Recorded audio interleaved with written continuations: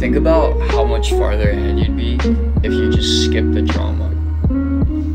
I mean, honestly, it doesn't even matter who did what or how your day got fucked up. It doesn't matter. What matters is how you deal with it. If you deal with it by acting out of emotion first, you're gonna make a bad situation worse. So don't add gas to the fire.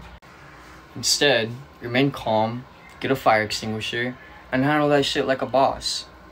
If you skip the drama and just go straight into solution mode, you'll find that problems get resolved with less stress, worry, and pain.